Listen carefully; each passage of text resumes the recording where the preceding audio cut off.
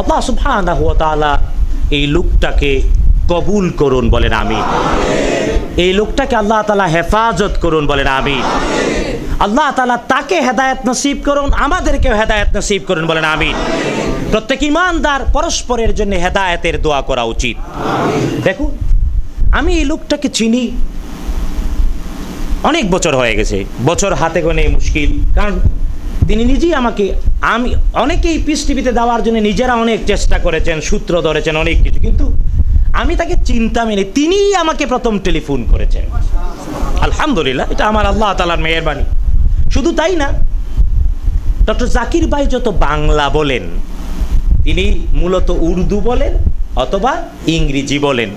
তার যত বাংলা বক্তৃতা, আল্লাহরই বান্দা আপনাদেরই ছোট ভাইয়ের হাত দিয়ে হয়। ডাবিংটা আমার স্টুডিওতে হয়। সুবানবাগ মসজিদ আমার মসজিদের ঠিক বিপরীতে। প্রিন্স প্লাজার নিচতলায় আমার স্টুডিও আমার এই বড় ভাই সাক্ষী। আর এক দুজন আহ, এই ওইটা প্রথমে বাংলা অনুবাদ হয়। অনুবাদটা ইংরেজি বা উর্দুর সাথে শব্দে শব্দে মিলায় আমি দেখি। তারপরে এটা কণ্ঠ দেয়া হয়। অনেক মেশিনারিজ ব্যাপার আছে এটা একটা শিল্প। অনেকগুলো বিষয়ের সাথে জড়িত। তো আমি এটা বলতেছি তো। তো আমি এই পর্যন্ত যত বাংলা বক্তৃতা আপনারা শুনেন, সব আমার হাত দিয়ে। বলেন, আলহামদুলিল্লাহ। এটা আমার একটা মানে আমি আমি লাইন বাই লাইন দেখি। আমার দেখা হয়েছে শুনছি তো দেখছিও বুঝতে পেরেছেন? আমি দেখার পরে আবার বোম্বেতে পাঠানোর পরে বোম্বেতে দুইজন এখন চেক করে। তা আমি আজ পর্যন্ত আমি বিদেশে থাকলে যদি কিছু না পারি, আমার মেইলে আসে, আমার মোবাইলে ইমেইলে এই যে এখানে দেখেন, আমি শেখরে দেখাই, এই শেখ আমার সাক্ষী, দেখেন। এখানে দেন, আমার ইমেইলে পিস টিভি বাংলা কতগুলো আছে? সবগুলো।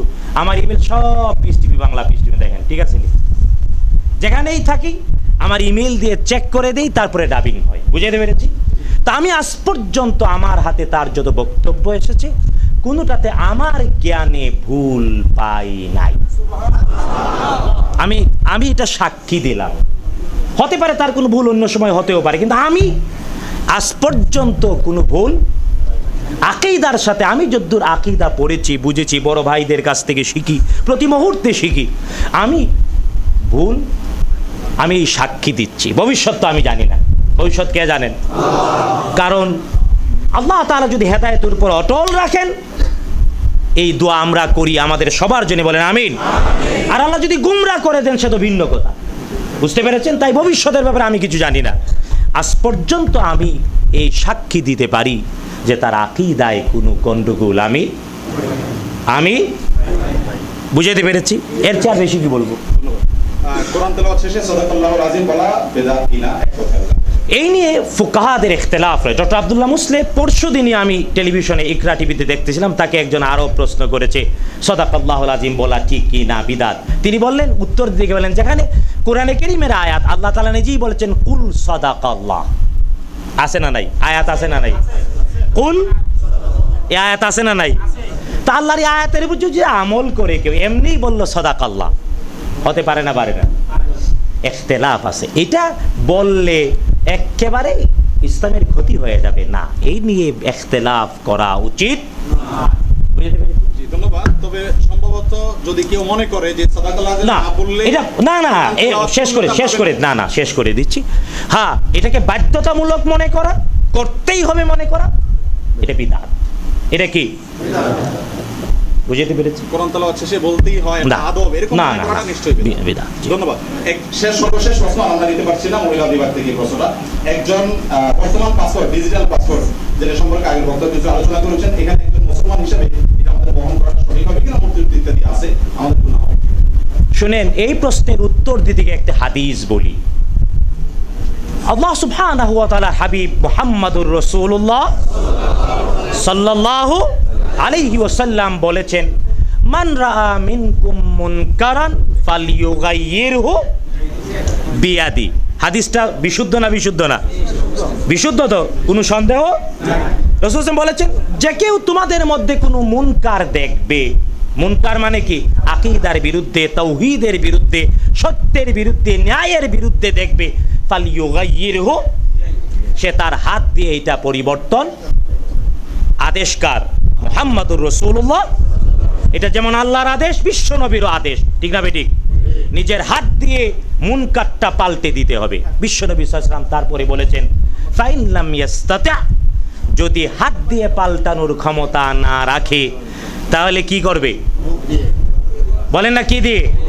পাবিলি সাদি সারে বলছেন সারে তিন নাম্বার বলছেন ফাইনলাম মুখ দিয়ে যদি বলতে না পারে, তাইলে পাবে কালবিহি হৃদয় দিয়ে। পরে বলছেন ওয়াদালিকা হুয়া আদাফুম মিনাল এখানে ওয়াও বর্ণনার জন্য, ব্যাখ্যার জন্য। এই হাদিসটার খুব এক্সিলেন্ট ব্যাখ্যা করেছেন আব্দুল কাদের জিলানি রহমতুল্লাহ আলাই বলে না সুবাহ আমাদের দেশে ওনাকে বড় পীর কয়, গাউসুল আজম কয়। বিশ্বাস করবেন, আমি একটা অভিজ্ঞতার কথা বলি। ওনাকে গাউসুল আজম যদি কেউ বলে আল্লাহর কসম ইমানে থাকবে না। সুস্পষ্ট শির্ক। কোনো সন্দেহ? ইরাকেও কয় না মজার ব্যাপার, বাংলাদেশে মহাগালীতে একটা মসজিদ আছে না? শুনেন শুনেন, কইতেছি। ওখানে বাংলায় লেখা গাউসুল আজম মসজিদ, কিন্তু আরবিতে কি লেখা আছে জানেন? আমি দেখেছি। আরবিতে এখন আছে, আপনারা যাই দেখবেন। মসজিদের মেন গেটে আরবিতে যে ফলকটা আছে, এর মধ্যে লেখা আছে, জামিউ আর শেখ আব্দুল কাদের জিলানি। এটা বলতে কোনো নিষেধ নেই। আরবি যারা বুঝে তারা দেখছে। আপনারা দেখেন, আমি চ্যালেঞ্জ করে বললাম, গিয়ে দেখেন। ওখানে আরবিতে গাউসুল আজম নেই।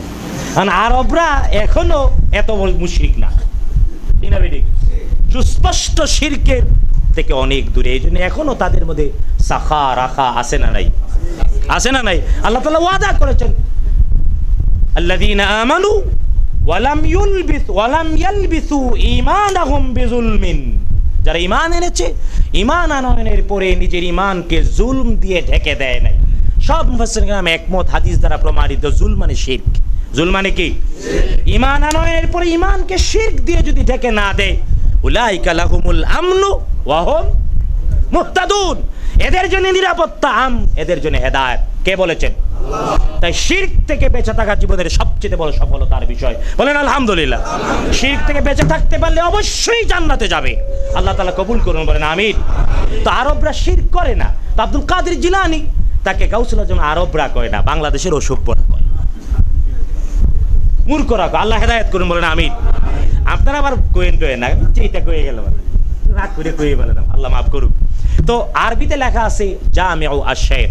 তিনি অনেক বড় আলেম ছিলেন। তিনি হাদিসের ব্যাখ্যা করে বলেছেন, আল্লাহ হাবিব সমাজের মানুষদের তিনটি অবস্থা ব্যাখ্যা করেছেন এবং তিনটি অবস্থায় তিনটি প্রতিকূলতার কথা বলেছেন। এক নাম্বার, যাদের হাতে ক্ষমতা আছে, বুঝতে পেরেছেন? সবার হাতে তো ক্ষমতা যার হাতে ক্ষমতা আছে, সে যদি মুনকার দেখে পরিবর্তন না করে তাইলে এটা তার দুর্বল ইমানের প্রমাণ। বুঝতে পেরেছি?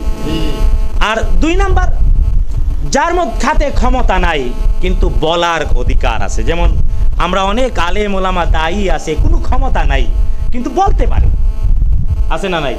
কিন্তু অনেকে আছে, বলেও না। এটা তার দুর্বল ইমানের প্রমাণ। আর তিন নম্বর, অনেক আছে যে তার ক্ষমতাও নাই, বলারও অধিকার নাই। সে হৃদয় থেকে প্রচণ্ড ঘৃণা করবে। চান্স পাইলেই সিল ঠিক মতো মারবো। বুঝতে পেরেছি? রাজি আছেন?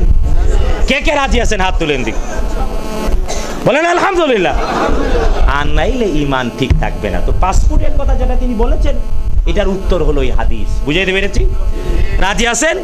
চান্স পাইলে কাজে লাগাতে রাজি আছেন? কে কে রাজি আছেন? হাত তুলেন দিক আল্লাহ তালা কবুল করুন করেন আমি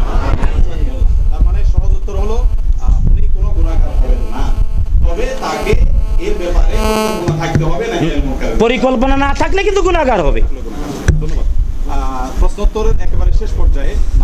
আরও আছে।